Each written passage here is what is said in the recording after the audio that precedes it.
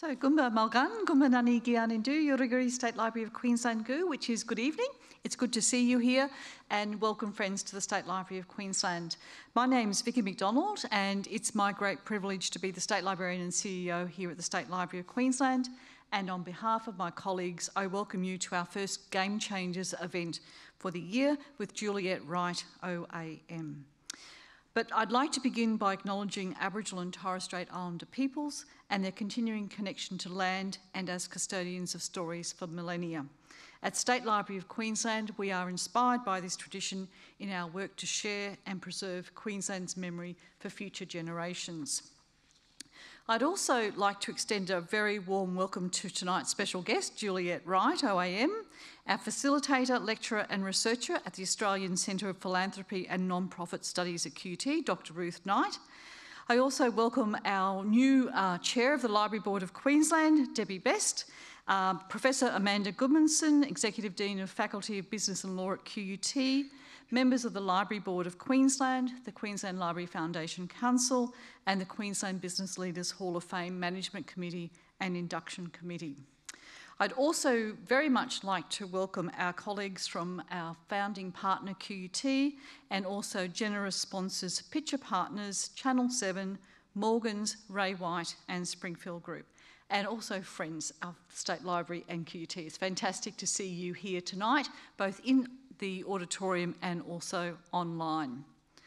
So Game Changers is a Queensland Business Leaders Hall of Fame initiative, a partnership between QUT and State Library and initially with the Queensland Library Foundation as well. The Queensland Library Foundation supports many innovative and important projects that benefit all Queenslanders, and this can only be done with the help of our valued donors, big and small. Tonight's guest is well known in the world of philanthropy. Juliette Wright founded the Australian donations platform GIVIT in 2009, making donating in the digital age personal and targeted. It is particularly fitting to welcome Juliette to State Library on International Women's Day. And the theme this year is Cracking the Code Innovation for a Gender Equal Future. Cracking the Code highlights the role that bold, transformative ideas, inclusive technologies, and accessible education can play in combating discrimination and marginalisation. Juliette's story, which you'll hear tonight, highlights the power of technology to connect communities and directly help people in need. Through GIVIT, Julie's idea, Juliette's idea to address humanitarian challenges from the global pandemic to local fires and floods was truly transformative. During the 2011 Queensland floods, GIVIT took the lead as the state government's official website for managing donations. It now partners with other state governments across the country through its disaster recovery and emergency service. Joining Juliette tonight is Dr Ruth Knight, who will facilitate this evening's conversation. Ruth is a lecturer and researcher with an impressive 20-year career in health and community services. Her passion for finding innovative ways to achieve social change is driven by her experience working with homelessness, suicide prevention, community development, culture, and leadership. Tonight's conversation is broadcast on Facebook Live and on State Library's live stream page. We'll also be using Slido to collect questions from both online and auditorium audiences. So if you go to slido.com and enter the code QBLHOF, or simply scan the QR code that appears on the screen. It's quite big on the screen, so it makes it easier. And the, the QR code will come up during the, um, the evening as well. And Ruth will do her best to get to as many questions as possible. And one thing that I like about Slido is you can choose the questions that you like that other people have written and they go to the top. So do vote for the questions as we go. If you do experience connection issues on our website, head over, to our Facebook page and you can view the talk there as well. And if you are sharing your thoughts about tonight's conversation on social media, we encourage you to use the hashtag QBLHOF as well. So I do hope that you enjoy the conversation and uh, I'll hand it over to Ruth now. So thank you, Ruth.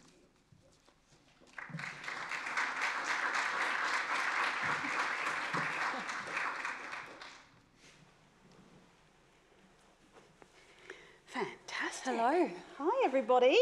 Happy International Women's Day. Yes. Yes. Um, my name is Ruth Knight, and it is an absolute pleasure to be with you all tonight and to be talking with Juliette. I've got some very exciting questions to ask you, Juliette. Quite personal. But first actually. of all, um, I'd like to just begin also by acknowledging the traditional custodians of the lands that we're meeting on tonight and to pay my respects to elders past and present. I'd also like to thank Candice and Kelly over here who are helping us. They are Auslan interpreters and I- think it's wonderful that they've joined us today. So thank you so much, Candice and Kelly. Um, just want to make a very quick uh, housekeeping uh, announcement is that if you do need to leave for any reason during the next hour, please just go up the stairs there into the exit at the back. That's probably the most uh, best exit to go to. So if you need to leave at all. Um, I think that's all the housekeeping. I think we should start to get to know you, Juliette. And as I said, I have got some questions ready to fire at you. Um, but this is a conversation with everybody here tonight, both in the room and online. So is everybody ready to use Slido? Everybody got this? You're allowed to bring your phones out and use that. Um, yes, normally in class I say put your phones away, but no, it's okay. Tonight you can get your phones out. And of course, everybody online as well, you can participate using Slido. And I've got the questions coming up here uh, so I can see what your questions are. And so I'm going to try and have a look at that while I'm talking to Juliette. And uh, we'll either get to those questions as we're chatting, or we will definitely make time for questions at the end. So I say, get your questions in, start voting so that you can get your question asked. Okay? Yes. Are we ready? Are you ready? Well. Juliette, um, first of all, we want to get to know you and who you are as a person. And so I think what would be a really good thing to know is who were you before GIVIT? You know, what's your background? What were you doing? Tell us a little bit about what was going on before 2009. I have always been passionate about helping people, and I think that's because of my parents. My dad was a complementary doctor, my mum was a nurse, a dietitian, and then I became a nutritionist and naturopath. you can see the household theme here. And, um, but I didn't have what they had, which was this unlimited tap for giving. When I was um, when I was a naturopath and a nutritionist and I was dealing with people one on one, I found that I had deep empathy. Like I would go into their feelings. It wasn't, it was, and I burnt out all the time. So when I'd had the kids in 2007 and 2008, and I was looking after, you know, two kids 20 months apart, I pretty quickly realised that I could not go back into being a clinician like that because I would just get burnt out all the time, and then I'd have to come home and be a carer. So I knew that I that part of my world was wrapping up. I didn't know what I was going to do. I thought maybe I should go into teaching and training because I was a pure extrovert back then too, and I was thinking, oh, maybe I should do that. But um, lo and behold, I had a big, big overweight baby, and it, that changed everything. Yeah, that can happen.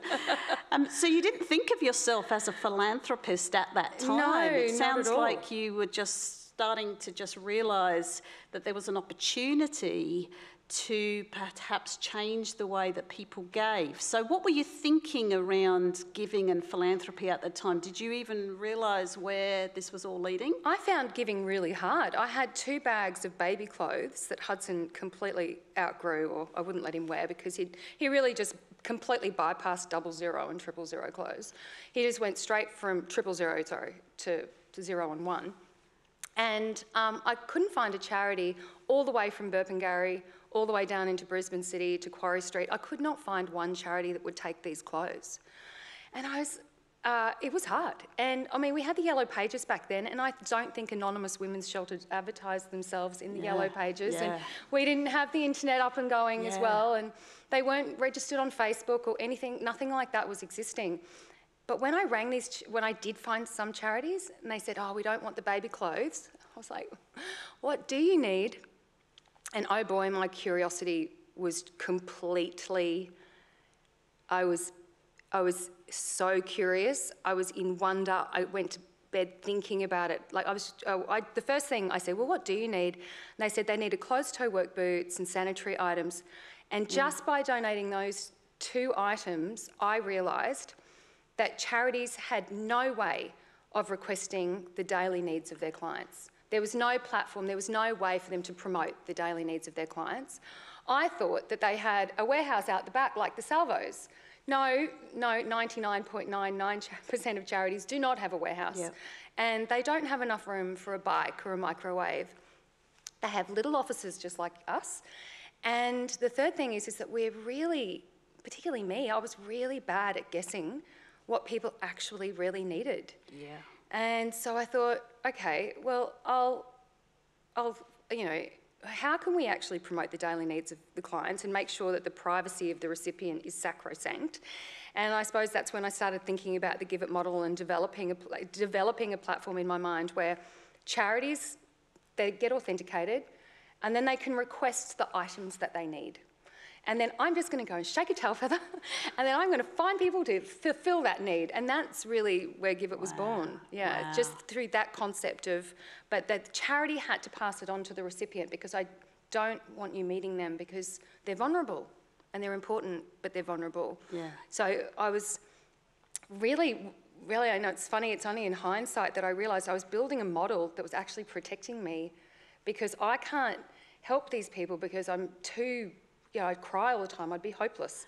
But I was supporting the charities who I ca- can work with and I was supporting donors who I can work with, but the real goal was to Yeah. help the people in Yeah. need. So it sounds like you were identifying a problem around giving and how can more people become philanthropists in sometimes very small ways. Yeah. Um, it, they don't have to give large amounts of money, large amounts of things, but you were able to then partner with these organisations. And in fact, I was working at one and remember when GIVIT started and thought, wow, this is cool. Um, so it was your ability to partner with these community organisations and for them to realise how, how great it was to be able to say, guess what, we need this. And then if, uh, and somebody out in the community could say, I can help. Well, I mean, I didn't know that it was going to work. In fact, um, I failed building the website twice dismally. I was, um, so I built the website and it wasn't automatic. I, if you donated a microwave, I wanted it to automatically fall off the list. Anyway, you know, burnt, got burnt. I just went, okay, I'm going to get a contract and it'll be automatic and you know, raised money, put, you know, saved up money. And I remember I had two kids, really young kids, so I wasn't working, so I was kind of getting scrapes together. and uh, got the second website up, and it wasn't automatic. And I realised when I was bathing the kids one day that he said, Oh, it is automatic. You just need to log in, press the button that says microwave, and it will automatically fall off the list. And I'm like, no, I'm literally bathing the kids. I don't want two people donating a microwave. Like, I thought I had this sorted, and I felt total failure. I also knew that no one in my world thought it was going to work. Not one person in my whole universe thought that this was going to work. And I remember actually bending over, and I thought, I think it was anger, but I think I was literally wrenching in the gut and going, I, I, I am totally alone in this idea. No one thinks it's going to work, and the universe is even against me. And I remember um, the kids were safe in the bath, by the way, everybody. Don't ask. Um, and I, I, I realised that I actually have to ignore the universe and everyone in it because I actually think that someone out there might want to fulfil an actual need. I, I believe that someone would go and deliver a fridge to the charity that if they if they need if that, that if the charity I do believe that the charity could possibly hire a truck and go and pick up that donation. I do believe that they can connect. We don't have to bring it straight to the recipient's house. And because I was really dogged that this was their, their privacy was sacrosanct. It was not the donor and them must, must not meet. And um, and everybody said, "Oh, it's so much easier." Just you know, and I said, "No." Uh, a counsellor told me a story where this beautiful donors actually helped. Um, they got a fridge and they hired a, tra- a trailer and they were putting it into this man's house. And when they got up, and it was Red Hill, can you imagine how many stairs? You know, they're climbing up. And they, they climb up and they put the fridge in there, and the man is sitting in front of a huge big plasma, and he uh, grunts at them. And he says, Take the old fridge. And like these people are offended, and um, what they don't realise is that he has severe schizophrenia. His mother has literally given him the plasma and walked away and said, That's it, I can't deal with you anymore. So he's by himself in the plasma. We, can't, we can only have social workers dealing with people who are in need. So people didn't think the model was going to work, but I can tell you in that one moment, kids were still safe in the bath, and I went, no, fuck you, universe, and everyone in it, I'm actually going to do it anyway, because there's going to be someone out there, and even if I just do one donation, it'll be worth it. Just one donation through the system, be worth it. That's it, just one. Well, you're already actually showing us that one of the best attributes of social entrepreneurs is persistence. so you're yeah. actually demonstrating it really well now. But we know, and you've already just shared, that there were challenges right from the beginning.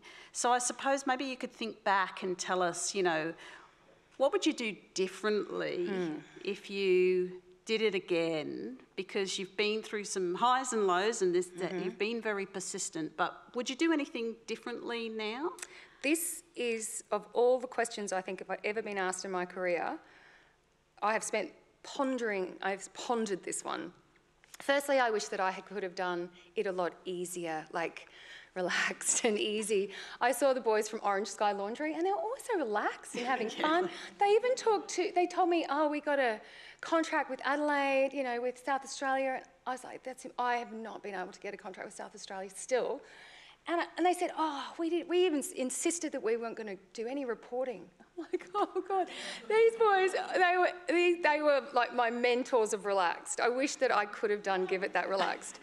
And, um, but it was online giving, even cash, you know, even credit card giving, yeah. in, back in 2010 particularly, it was, it, was, it was not a big thing.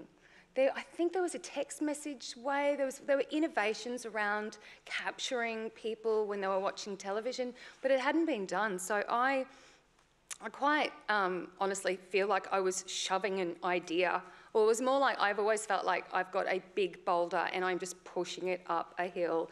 And if I relax a bit, I'm going to go two step backwards. So the GIVIT journey was the hardest thing that I have ever done, and I lost a lot of sleep. So I really truly wish that I could have done it easier. But the second thing um, is, uh, I'm not going to cry. Um, I am not exactly the bottle that people want to hear the message from. Is did that come out right? I am not, people don't expect the message to come out of this bottle. So I, um, I like to do my hair. I like to, uh, I like to wear nice clothes and have pretty shoes. I like to hang out with fashion designers. I like, um, I like, I like, I like Paris. You know, I like, I love GIVIT, and I love, and I am overly enthusiastic, and I am passionate, and I do not fit the mould as an anti poverty advocate. I know that. And I do not fit the mould as a CEO. And I've had a lot of people, and I'm bringing this up because it's International Women's Day today, and I have thought about in my career how can I tone myself down to make other people comfortable and what do I need to wear to this to make other people more comfortable? And what do I need to say? And do I need to talk more seriously? And, and I just thought, you know, all of that is just messages from everyone just telling me to stop being happy. Like it, mm. it's like I was, I would even be in an auditorium and a woman stood up and said, "You just shouldn't do this because you're an anti-pot. Wow. You don't look the part." And I was like, "What is not looking the part?"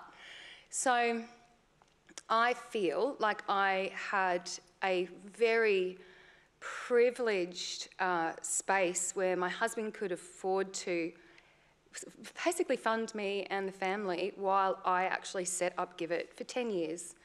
And, um, and it's because of him and his incredible generosity and support. I don't, you know, I'm really lucky that I'm prosperous and fun and happy, but, you know, it's been, um, it's been a point of contention Yeah. Yeah, thanks for sharing that. Um, Sorry. yeah. It's obviously Hard question out of the way. You're going to have fun now.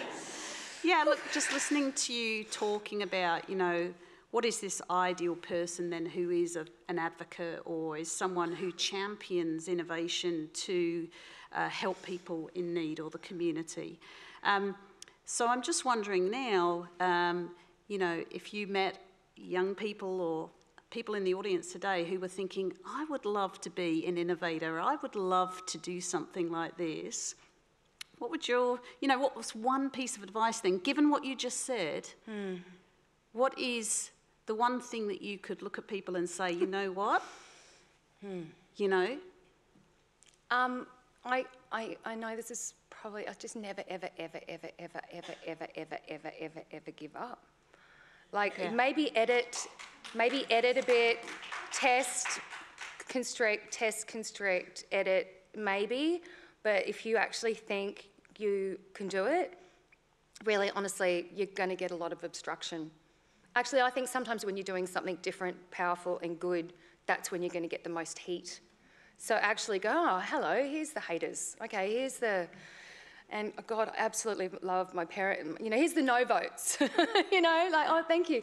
So one of my things is that for innovators is write down all the people that told you that you couldn't do it, get them to a hall, very long table with some fluoros and some highlighters, and get them to hallucinate all the ways in which you will fail. Maybe get some champagne in there as well. I don't know, whatever gets, you know, you're all laughing and hallucinate all the ways in which you'll fail, and there's your risk register. And say, thank you so much. I really appreciate you. bye bye now.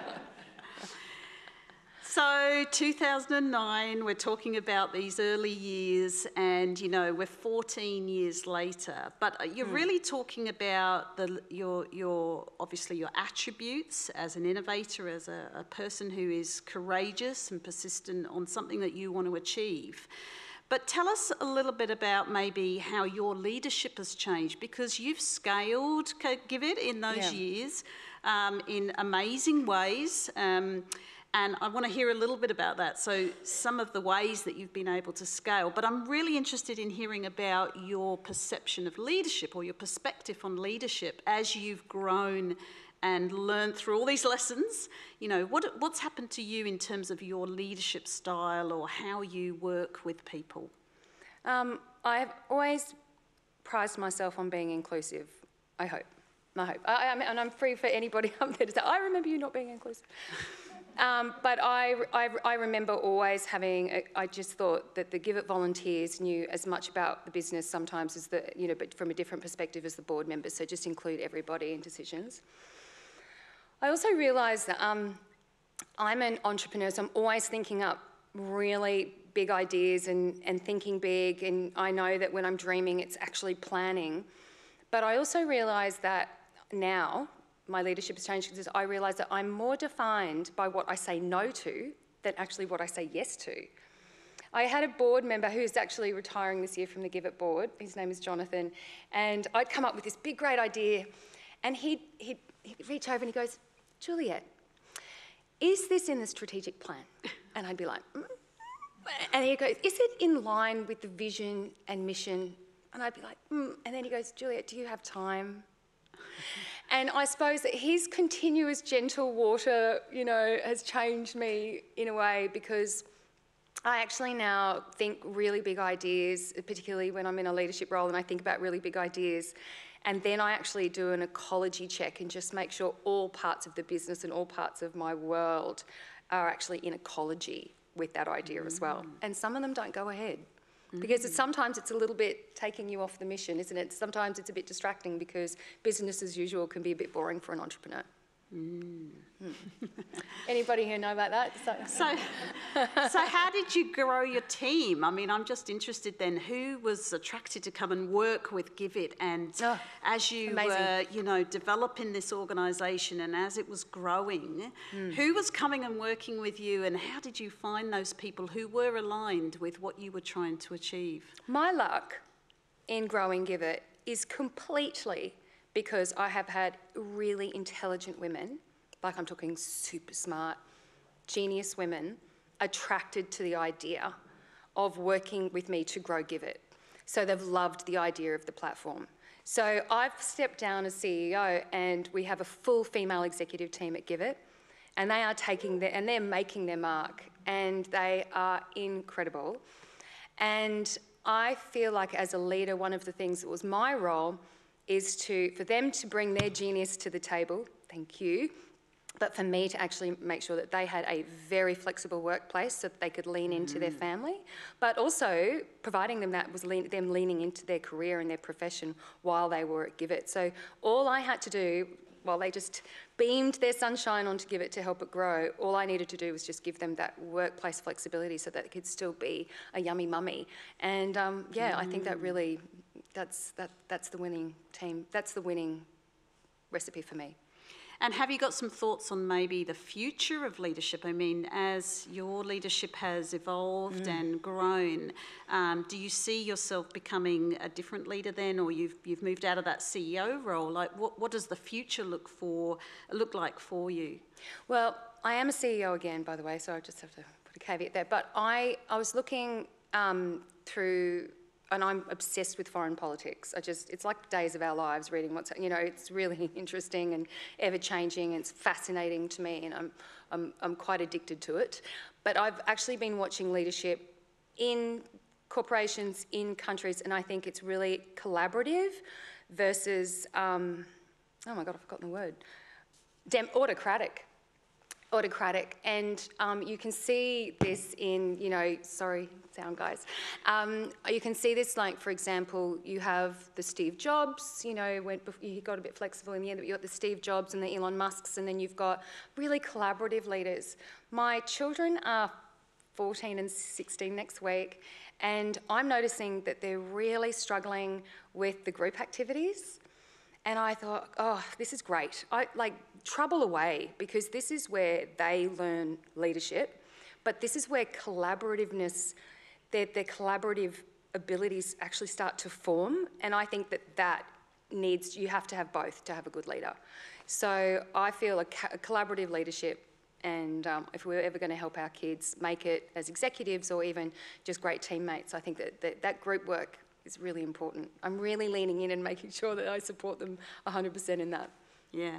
Um, I want to pick up on something you said earlier, actually, about, you know, when you first thinking about this and your level of empathy for people.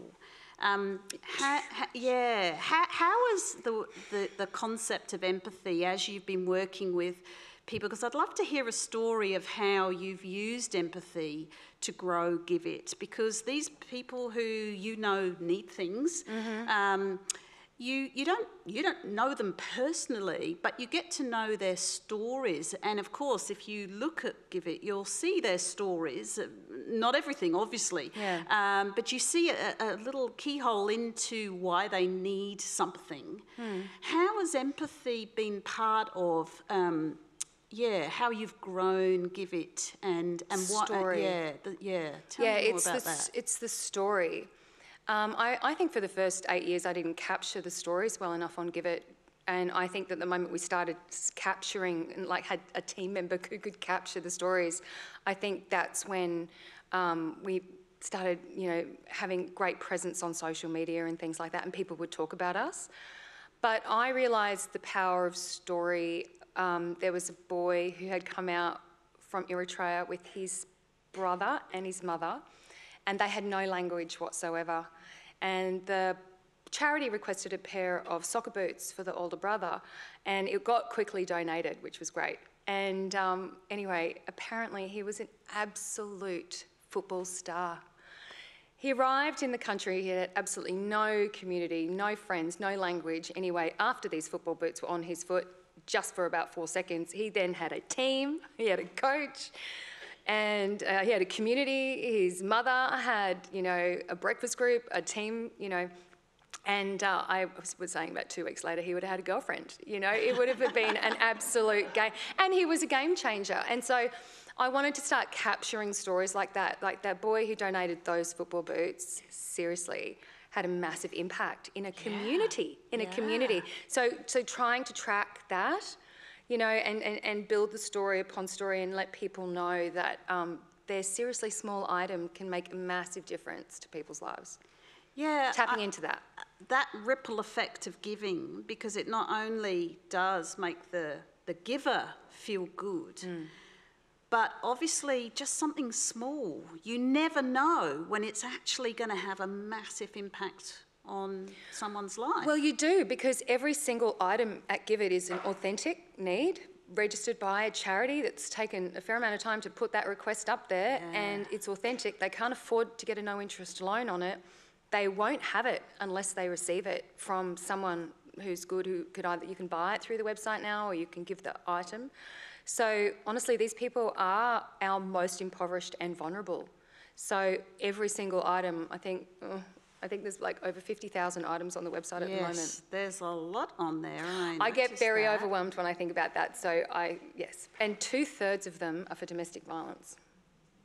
So that's just, there's just a plague. When you realise that all, you know, two thirds of the needs, there's uh, every, you know, pretty much every toy on there, and it's pretty devastating. So, as a giver, I can look through your list of lots of items. We won't mention how many because there's a lot. Yeah. Um, but I can look through and I can see well, do I have that particular thing to give? Mm. So, do I have a laptop or a toothbrush or whatever it is that's, that's there? You can filter it down. You can say white goods, helping someone with domestic Yeah. violence, or any any type of category. So. I can either then uh, say I have something to give away. You can pledge it in the online warehouse. pledge it. Okay, Well, so that's a me- so funny. tell me that's how- a, okay. That's a funny of bits to this story. This, this is a funny story, actually. So, GIVIT was about two weeks old. Started off with about eight charities, and then you know went to 16. And uh, my husband uh, was leaving for work. And by the way, I'm about to talk about a virtual warehouse, but this has won numerous innovation awards, like loads. but anyway, I've just put a caveat there. And um, my husband was at the door going, Are you going to the shops today? And I said, No, I am working. I'm doing GIVIT. And uh, he said, Well, yeah, I uh, really need some undies. And I was like, Yeah, no, I've got, you got heaps. And he goes, No, you've done all the washing for the kids, but you haven't done any of mine. and I went downstairs, and it's true, all the non priority stuff had been and um, so I'm not, wasn't a great stay-at-home mum, really, was I? And um, I was working full-time from home. And um, anyway, he said, what's the problem? And I said, well, all the charities have got the list of needs on the website, and there's, you know, microwave, bike, all of this stuff, but people want to give stuff that's not on the list. And so what I'm doing is I'm collating all of the emails and then I'm asking who wants to be on the daily or the bi-weekly kind of list. Anyway, so I collate all the other offers and then I email them to the charity.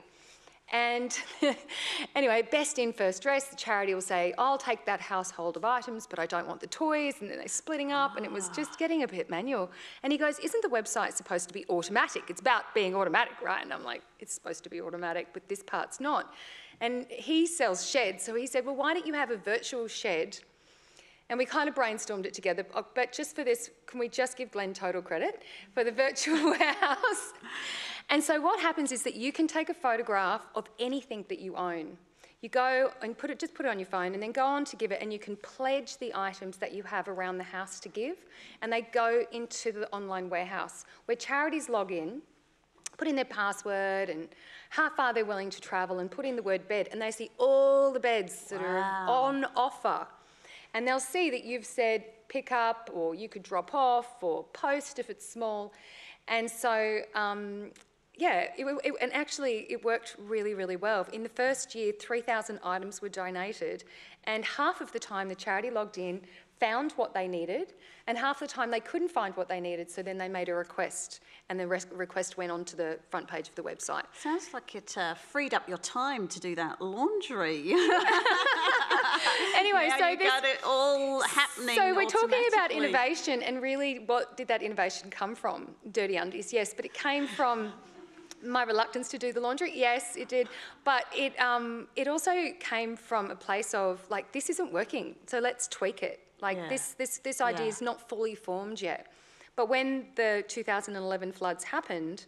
Uh, the website got 1.8 million hits in 10 days, and all of those offers were captured in the virtual warehouse and weren't inundating poor Yes. communities that were also dealing with the floods, but they also weren't inundated with poor quality donations. But obviously, you saw that that actually also happened. So that, that disaster was a real learning curve for me. And was that flood, that disaster, was that the time that really everybody started to go, wow, we need GIVIT? Like this Yeah. was now not something. well, we need GIVIT to be bigger. yes, we- we More need staff. it. Actually, us staff member. Yeah. So, so how did people start using it around the, the flood time? We were 100% volunteers at that point, by the way. And, um, and one was in Byron Bay and one was in Japan, and it was, pretty, it was pretty heavy going. But what I realised, what was really devastating about that, is that when people give through GIVIT, they're really beautiful givers and they give quality items, and maybe there's 5% of the items aren't great quality. And I call it like the grandmother's perspective, like um, the Nana perspective is that I've been sleeping on that bed for 20 years, love. It's perfectly fine. I say, no, Nana, it's not. Um, I won't. I don't want to sleep on that bed, so I don't think it's not good enough to give to me. So I think it's not good enough to give to someone else. And so now, um, but in a disaster, so I think 5%, so everything that was going through GIVIT was 95% excellent. But when the disaster hit, everything went to poop. It was the most Wow. outpouring of the most disgusting, broken, poor quality, mouse covered, snake infested. Wow. Um, well, they just thought that people lost everything and therefore people would take anything, which is actually the opposite. So if you just imagine losing absolutely everything right now, do you actually want my pillow? No, you really don't want my pillow. Do you want my old sand shoes or my concaved husband's leather shoes? No, you don't. People get quite fussy when they have nothing, Yeah. as they should be. And what happens is, is when they receive poor quality, their dignity goes Yeah, right down, yeah. and they and it, it really affects their mental health. Yeah. So the quality issue is now why on GIVIT, 100% of the items that go through, we need a photograph. Yeah. It's just because the charities can see the stains and they can see the mould, and for work health and safety reasons, they can't touch that stuff either. Yeah. Um, I'm just processing all of this and thinking about all the logistics involved um, because this The first sound- website's a little bit different than the current website, by the way. yeah, it's a bit better. Um, but word got out, didn't it? I mean, Yeah. word got out. And tell me then what happened, how you, you were just Queensland based or even Brisbane based originally. Tell me then what happened, how it scaled, because this is an innovation that, you know, people started to realise we need GIVIT. How did it grow and, and where is it now? Like, Hmm. what's going on right now? Well, I think a few milestones that were really important was that I brought on a good board, like the, a board to be proud of, and I brought in people that um, that gave because I am who I am, and they gave the organisation kind of like not a heaviness, but like that governance groundedness that I was, you know, I was doing all these other roles. I was fundraiser, I was this, I was that, but you know, they would focus on governance and policy, and so I had, you know, so it's kind of the organisation got grounded, and um, I give them total credit for that because don't talk to me about governance. And so I, I know all about it, but it really makes me want to go to bed and You're the sleep. doer. Oh, Get get it. yeah, yeah. So um, I felt a really powerful board. I also felt that the Queensland government came on board and gave GIVIT its first funding ever to manage offers of goods and services in times of disasters. So you know that was a game changer. And then I realised that other cities and other towns and other communities were inundated with poor quality donations post disaster. So we created the, um, a disaster recovery service for state governments. And that's given us that national presence. But, you know, then suddenly I am a, a government liaison and government stakeholder, and then I'm a government reporter. And so I've had a massive learning journey across all of that. Yeah.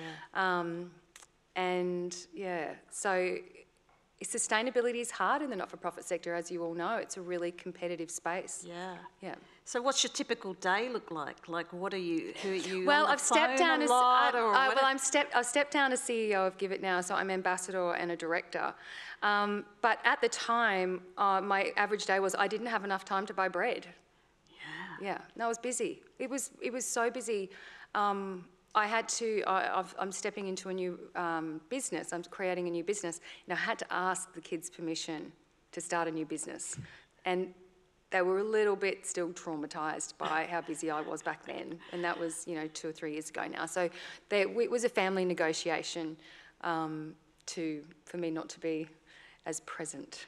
But it sounds like you're an innovator at heart. Um, if you're looking to do more things now, um, which I'll get to maybe in a moment about, you know, what's the future look like. But I really want to pick up on something that I'm noting um, is that you're not only enabling philanthropy to change, like the way that we give, and you're changing, you're encouraging the person on the street who would never think of themselves as a philanthropist. Now they can, now they can give. Um, but you're also actually thinking about waste. And the circular economy, which is what we're talking a lot about in the social enterprise sector. Yeah. Um, it sounds like you're really reducing waste and really reusing, which other people would typically take to the tip. Yeah, we measure how much Um, we prevent from going to landfill now in tonnes. Yeah, right. Yeah. So is that a like an unexpected outcome of what you've been doing? No, Was I always knew that we were preventing landfill because we're making sure that people actually only give communities exactly what they request. Yeah. I feel like I'm flipping the model where instead of donors wanting to give what they've got, now let's flip it and actually find out what communities actually need Yeah. and actually only fulfill that need. Because when they get what they need when they request it, then they move on to the next phase of recovery. So, and I also feel like because we've got that buy local theme, which I'll explain in a minute, but we, it's all about making strengthening communities. So GIVIT's about strengthening mm. communities and making sure that they're not inundated mm. with waste, that they all go, yeah, I'm, I'm pretty sure most of them are retired now, but about six or seven years ago, I spoke to a lot of mayors, and most of them confessed to midnight dumping, which means that the donations would come in in an event, so very big cyclone in the area. Stuff would come in to a warehouse, then a scooper would come and then take it to the tip, and then be fresh, open new shed in the morning. Because there was just that much stuff Yeah. coming in. It, wa- There was trucks coming in Yeah. from out of town, South Australia, with no no address. Just go to Bundy, go to Bundaberg, and Bundaberg are like, yeah, well we actually have clothes. Like there's a Kmart just there. Yeah. Yeah. Yeah. Um, I really just want to know what are, what are some of your highlights over these 14 years that you've been doing this now? I- Hmm. you know, you've been making a lot of impact in many ways. You've been making a difference to people's lives all over Australia now. Um, what, are, what do you think are your big moments, your big highlights that you look back and you go, yes, you know, Well, I think that was worth it. I think it's now because uh, GIVIT's doing 200,000 donations a month. And it's just about to hit 7.5 million donations. And I, I love that because I just want to go back to the bathtub scene and I just want to say, you go, girl. Like, you've Yeah. got, you know, just go. And I, I think I was there anyway in that, but it feels very, um, it's, I, I, it's- can I say it's healing? Like, it's just, it's nice to uh, say, no, the universe wasn't against you. no, you're okay. it was a good idea. You just made a few mistakes. It's okay. Yeah. So um, I think now I'm, I'm so chuffed and I'm so proud of the GIVIT team. And I'm so proud to be a part of its story. Like, I mean, it's, it's gonna, it's gonna grow beyond me. You know, it's, it's, it's a model that anyway this is where we're heading i suppose is the fact is that i've been waiting and waiting for someone to do this overseas and they haven't yet Ah. Could it be the UK? Because I hear that you've got a very famous patron. yes i do Tell, tell us about your patron and how that happened. so um, the uh, 2020 fires hit and you knew how you know how catastrophic they were for communities all down the eastern seaboard and um, it was catastrophic disaster. And the Clarence House at the time, her then Her Royal Highness Duchess Camilla, Duchess of Cornwall, reached out and said, "I would like to give a modest donation to GIVIT."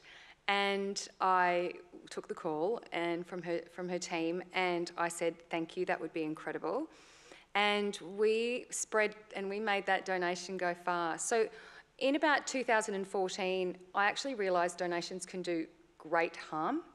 There was an incident in Long, uh, no, sorry, there was an incident in a drought affected area. And um, the donations of stationery supplies was brought into the town, and it had a deep negative impact on a, uh, on a business community there. And it was not a good impact. And I realised that in disasters, that the number of donations that are going through GIVIT into the communities that are secondhand or coming from out of town is having a negative impact. So in 2014, we made a decision. I wrote a memo, very Jerry, Jerry Maguire. I wrote a memo to the board and even all the GIVIT team saying, I think that we should ask people to buy items locally and we should stimulate the local economy. And therefore, really competing with the Fab Five, you know, Red Cross, and I was like, ah, I'm going to be a little fish with the sharks. There's no way GIVIT's going to fail. Anyway, we all decided that we were going to make the change. But lo and behold, everybody loved it. Every local business, every cafe, every every local councillor, every regional mayor just went, oh, thank you so much. So if you give to GIVIT, 100% of the funds will be spent locally, helping the people that we, that we need to support, but helping them through a local business. Anyway, so Camilla really, sorry, Her Royal Highness really liked that idea. And um, she did, she really liked that idea. And when we gave her the acquittal with, you know, beautiful pictures of where her, her you know, donation had gone, she was so impressed that such a modest amount of money had just been spread so far. She bought 40 back to school packs for kids from Ebor. She bought a farmer a water tank and irrigation to to water for the, for the animals and for his family. And it went on and on. We, we did good. We made that coin stretch. Anyway, and then they said, look, we're just so impressed if there's anything else we can do. And I said, well, um, sure I can think of something. Um, how would uh, Her Royal Highness be interested in being our patron? And um, and she said, oh, well, uh, Her Royal Highness is not a patron of anyone outside of the UK. And I said, well, and you, you know, I'm thinking she's going to be queen. You know, she's going to have to have a Commonwealth spread. and um, and I said, would she be okay about being our patron uh, in Australia? And we're a charity. We support four and a half thousand charities across Australia. Like we, we call ourselves the Charities for Charity, the Charity for Charities. And uh, she said yes. Wow. I think the coolest part is though, is the kids will sometimes ask me, "What did you do today?" And I say, "Oh, I was talking to Buckingham Palace," and they go, and I go, yeah. So we're all next time they're out on a visit, on the royal visit, we're yeah. all coming round to have tea round your well, house. Yeah, it's funny. I was taking Hudson to soccer, and um, uh, we had a nice big show share with um, Her Royal Highness. I had a one-on-one, and then the whole team came on, and we had this because it was uh, COVID. And I said, she said, "Oh, I love Australia," and I said, "Yeah, I'd love to meet you." And it would just be, I'll fly to wherever you land, like I'll come and meet you. And she said, that would be really wonderful. But she goes, I love Australians and I love their sense of humour. Anyway, the next day I got a call from the Department of Communities going, Did you invite the Royals to Brisbane yesterday? And I'm hang on. Hudson's like, where's my shin pads? And I'm like, okay, I, honey, I really got to take this call. they wanted a script of what I had said. I was like, no, I am not, I, I know I did not invite the Royals. I just did not invite the Royals at all. I said that she'd be very welcome. And then, yeah. by the way, in the conversation, I said you'd have to quarantine. If you did come out these in the next few weeks, you'd have to. Maybe I did invite her. Uh, if you did, if you came out, you'd have to quarantine for two weeks. She goes, "Oh, I don't have that kind of time." so I don't have that time. Okay. Well, cross fingers soon she'll come yeah, out and, yeah. and, come and see you and, and the family. I think that she'll come out. Well, she's going to do it. I would say they'll do a Commonwealth tour. Yeah, um, yeah, in the next few after years. the coronation. Yeah. All right. Well let's get back to you because you're the more important person, of course. Um, look, uh, I, I, think we're going to have to look yeah, we're going to have they are going off. Soon. Okay, number six. But I, before we before we have a look at the questions, and I and I hope you're all going into Slido and putting some questions in there. Um, first of all, I've got two really important questions. Uh, in fact, I've got more than two, but I, am running out of time. Yeah. So I think um, the first thing that I really want to ask you, because I'm really into philanthropy and non-profit studies, that's um, what I, I, I, love thinking about a lot. Um, what's your take right now on what we have to do further about improving people's uh, understanding of philanthropy and giving because we know that in actual fact less people are giving.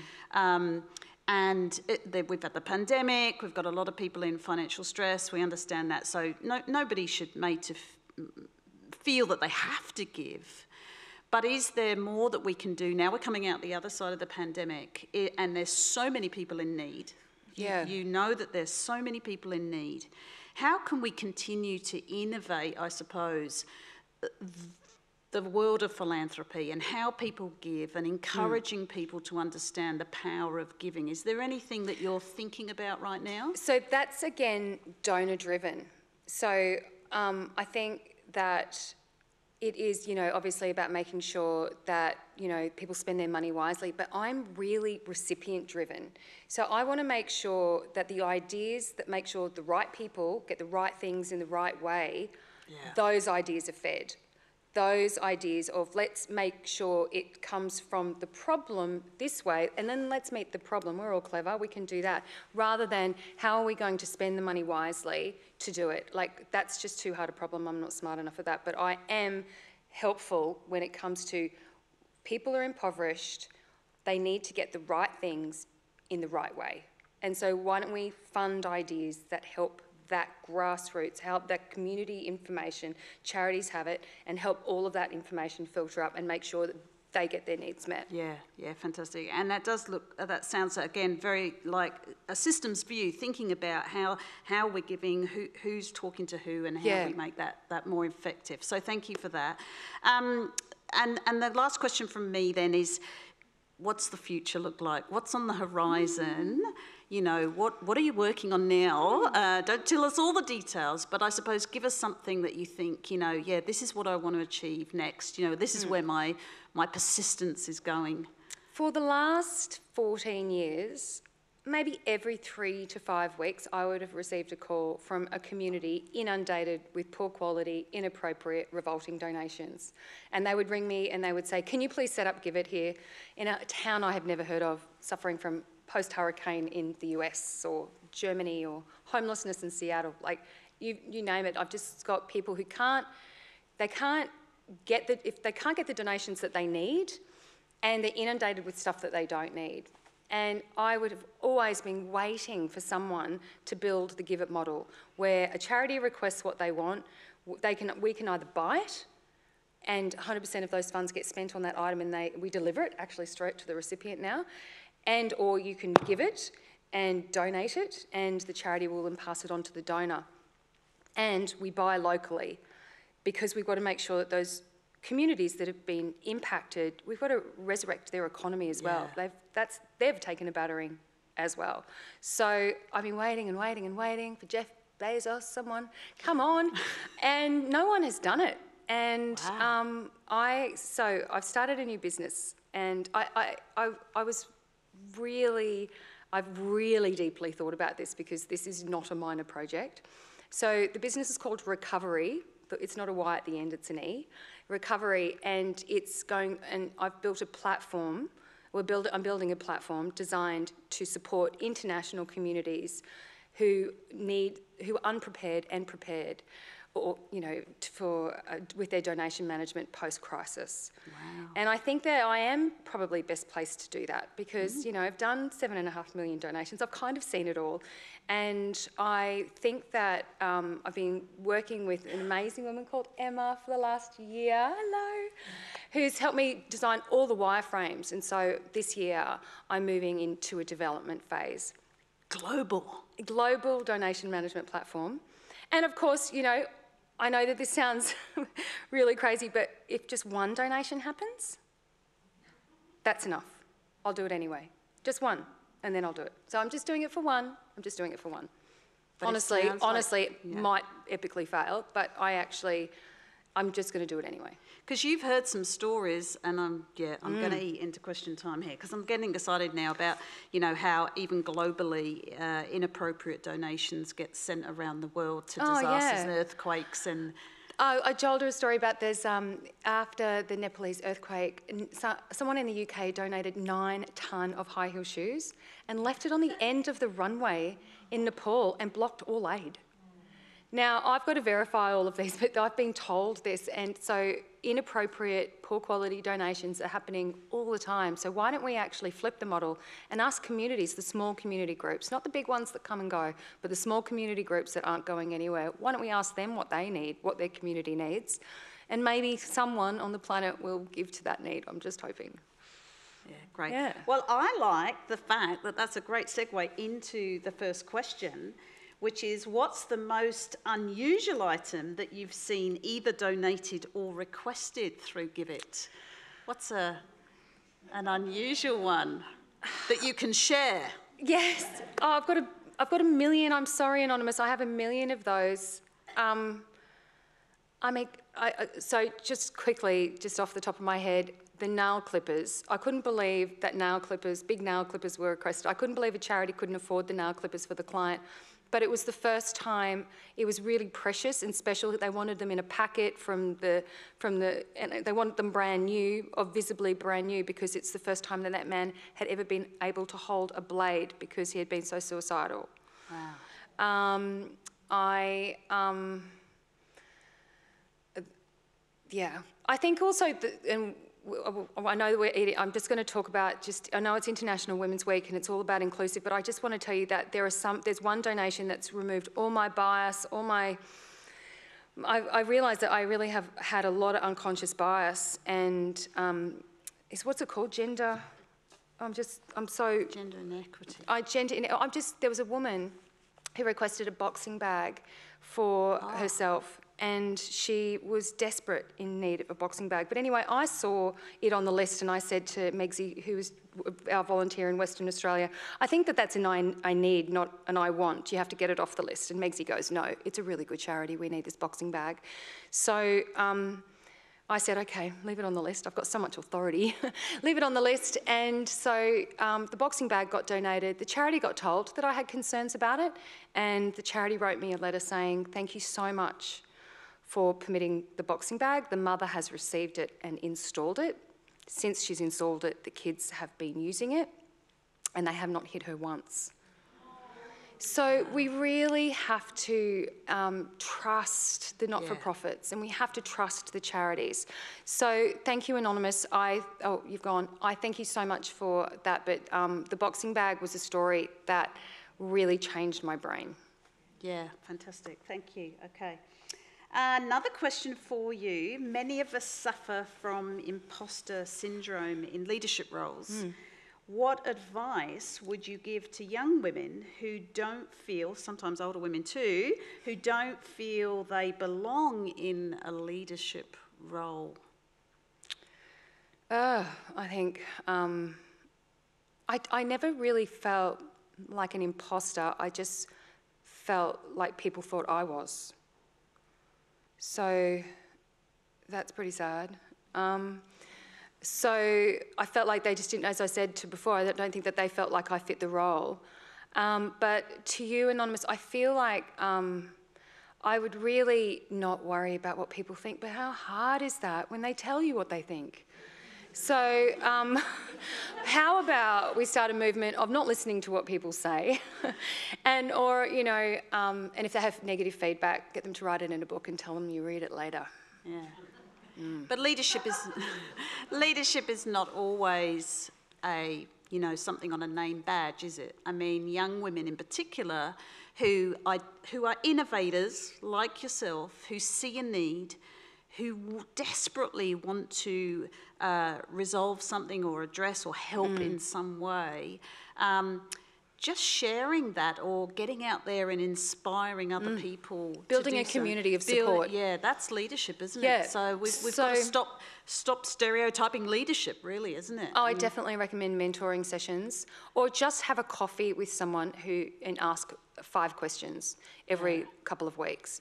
In, it's very informative. They'll ask you about you and they'll support you. But building a community of a support of people who know what you're doing, and then getting to that point where you want to have a board or an advisory board if you want to keep it, you know, non-governancy. Okay, did you feel intimidated by the digital side of GIVIT? Because it does sound like you weren't very techie before. Not very techie at Um, all. Did it ever seem too hard to build what you had in mind, your vision?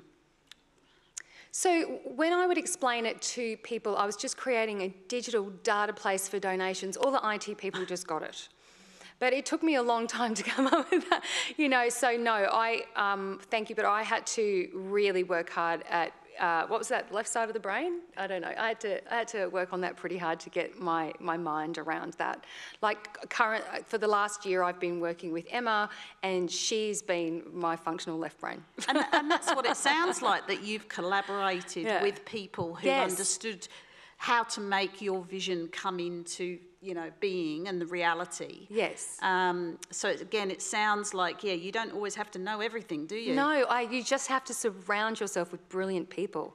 Yeah. And it's really lucky that I was saying before is that the GIVIT model, the, the model, is attractive to really smart, intelligent women. I think that's my absolute good luck charm there. Yeah. Because otherwise it would never have got off the ground. Yeah. So a really smart women want to help me. Yeah. Mm. So I just want to touch on again the Women's Day uh, theme of Mm. looking at how we encourage more women to use uh, innovation and uh, technology. You know, what's your take on that? Like, what's your thought about that? Should we encourage more women to use technology to be innovative? Yeah, I think um, we, we, I need, I'm starting from the basics where our most impoverished don't have access to technology. So we run a digital inclusion campaign where if you've just got, uh, you know, a mobile phone or a smartphone or a device, that is an absolute game changer, particularly laptops, as you know, for people. So we need tens of thousands of more technological devices to fill the need. But what we've found is in the studies, and I'm sure your teams have worked on it, but if you don't have a device, you pay 30% more for everything because you just don't have that research tool. So uh, being deviceless makes you more impoverished. So it's the cycle. We've really got to pull them out of that. So yes, I want to encourage everybody to be on technology, Um, except my kids who need to be on less technology, as we all know. Yeah. Um, yeah, I looked on GIVIT earlier today and um, noticed that there was one lady that needed a laptop, and um, but you had separated out laptop from mouse, and I was interested in that because I thought, wow, well, even if I could just give the mouse, and I'm, I'm sure I've got a mouse around my house that I could donate, maybe someone else could give the laptop, and then you'd actually separated out the laptop bag, and I thought, well, that's cool actually because I can then choose to give it all, or I can choose to collaborate with other givers Yeah. and and then create that that gift to that that woman um, because it said um, this lady needs that laptop. Yeah. um, and I thought again wow you know again I'm so privileged. It made me think that I can if I need a laptop I can go get one. Um, but there is someone here that could uh, really really need that. And, and I just again felt compelled and thought how can I make that happen? It inspired me yeah to go out and see how I could help. We also found through the pandemic that the elder generation didn't have smartphones, so they weren't connecting to their loved ones because they were so isolated. So really, when it comes to you know my empathy going, oh, but these we- like we had grandparents and elderly people who were seriously lonely, and they were important to have smart devices. Well, they're coming in strong. Oh, we've got a couple, a couple more questions I think we can uh, ask you. Um, there's one here that says, how did you take that small idea, and you're obviously just working from home, uh, how did you take that small I- idea to really scaling and employing others? Did you, where did you get your finance from? Where did you yeah, get your no, my husband. What's your business model? Yes. Um, my husband was generous and um, gave us a room in his office at Newstead, and his business donated enough for us to just have an accountant and keep the lights on, really. But he paid for the electricity as well, so you know the photo, the photocopier and things like that. And so would not have got off the ground without his support. And then um, he also paid for an accountant. So uh, I've got a lot of friends in the room. I just they, they would vouch for this is the way I did accounting. Once a month, I would put all the bills out, and I'd put them in order, and then I would put them through the system, and it was flawed. Anyway, so the first thing that we got critically was an accounts officer to come in part time. And that streamlined things really quickly. That was the first. And then the Queensland Government came forward and gave us funds to manage offers of goods and services in times of disasters annually. And that was 2012 13. And since then, GIVIT's now sustainable via its contracts. But we don't do disaster recovery in states that we are not funded because we just don't have the staff. Yeah. But the, the model of helping charities for free across the nation happens all the time. But that disaster recovery is, is more challenging, difficult work, and that we need funding for. Yeah. So again, that sustainability of Yeah. your business model is really important, and and again, I think that is really important for us to understand is that charities need to keep the lights on. All charities Hmm. need that money to do the uh, the the things that people don't see. Yep. Um, but it is the accounts, it is the infrastructure, it is the operations that we need to keep charities going, and, and that's really critical for our ongoing sustainability. Okay, um, did you have a mentor? Going back to mentors, who or who have been your mentors? Oh, Uh, have you had? Yeah, who have been? Um, I haven't had a lot of female mentors actually, except my girlfriends. Um, so I would generally have a problem, and I would generally have a night out with a girlfriend, and we would just nut it out until we solved it. And, um, and then they would do that too. Um, but in a formal session, um, I've got, um, whenever I've got a big hairy problem, I would probably go and see someone who is in that craft. So if I have an accounting issue, I would go and see, um, you know, one of our board members, James Whitelaw. If I had an, this type of issue, I would see someone else. Yeah. And if they're really clever, they, I just move them onto the board. really clever. Come with me. Come here. Um, we might have one more question, but I, I'm, I, and these are all fantastic questions, but I think I'm going to steal the last one and just say, Julia, thank you for inspiring us today. Like, haven't we enjoyed this story and, you know, what you've shared with us? Um, I'm terribly inspired, and all of you can go away and have a look at the GIVIT platform and, and be inspired yourself. But I really want to just ask the last question, which is, you know, what should, or not should, what could people do uh, tomorrow morning when they wake up and they're thinking about this story that you've shared and, and they're thinking about what you've done? You know, what would you encourage people to go out and the first thing for them to do to, to you know, go and meet, think about their dreams or I would um, urge everybody to feel very grateful because a full heart has lots of love to give. So feel grateful for your pillow. And if you've got someone to cuddle, and if you've got cutlery, and if you've got a functioning dishwasher, and if you have a washing machine, just be super grateful for what you have. Um, I feel super grateful, and I feel like that's my, it's not an antidepressant of sorts, but it kind of just resets me. And then I feel full. I think because the heart, and I've always told the GIVIT team this, because they sometimes in a disaster, they won't put the laptop away and they won't stop working. And I say, but the heart needs to pump in to pump out. And if you just pump out all the time, you will suffer. So, and I feel like everyone here is very empathic and caring. And I think that I, I, I presume that um, that you all are givers, and um, because you're here talk, talking to a philanthropist, I suppose, or a, person who loves to give, and um, we probably need to make sure that we, you know, continuously taking care of ourselves and be really grateful and then go to the GIVIT website and have a look and see if there's any linen that you no longer require or there's any cutlery that you no longer require or go and take a photograph of everything with dust on it, take, take the dust off and in the, in the underneath the stairs or in the garage and just put it into the virtual warehouse because honestly, simple things make a massive difference to Yeah. people's lives little nail clippers make a massive difference to people's lives. And to know that it's come from someone that they've never met makes their heart full. So I definitely. Yeah, I love um, that. I love that. And we really underestimate how much junk we have in our house, and um, good junk, like really Mm. Yeah. good quality stuff, um, because we don't want to burden you with with um, stuff that isn't good enough. Yeah, But- nothing broken or with missing parts. Yeah, yeah. So the really good stuff that you have that is collecting dust, I think we underestimate how much we have there. So thank you so much. And thank you. It's been really enjoyable. Thank you. Can we thank Juliette?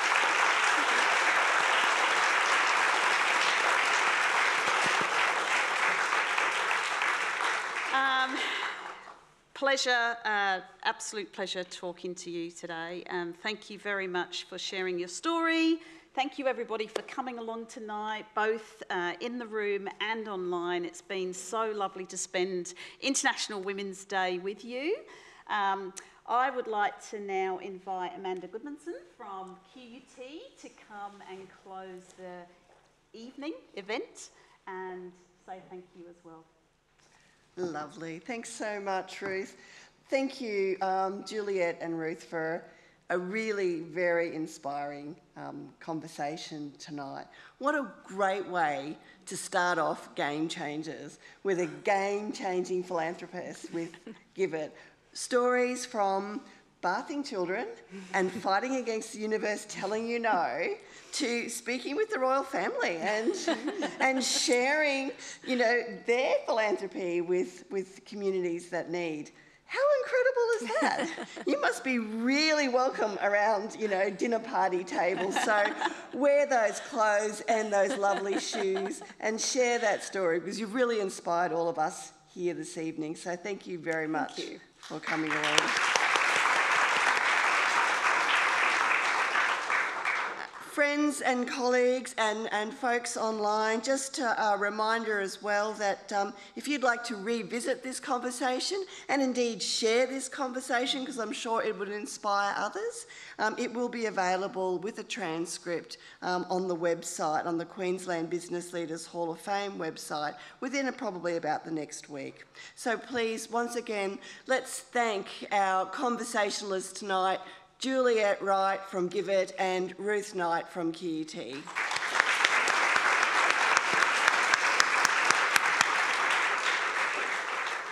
So we look forward to bringing you more inspiring stories of the creative and the inventive entrepreneurs in our community as we uh, move through the year. So please keep contact with our website and look for the, the future events that are coming, probably something more towards the middle of the year and later on in the year. I'd like to close by thanking our partners, the State Library of Queensland and the Queensland Library Foundation and the Queensland Business Leaders Hall of Fame community, including our partners, Pitcher Partners, Channel 7, our major sponsors, Morgans, Ray White and the Springfield City Group for their ongoing support and commitment, which helps us to bring you these inspiring stories. So thank you very much for your attendance here this evening and online, and please, safe travels home, everybody.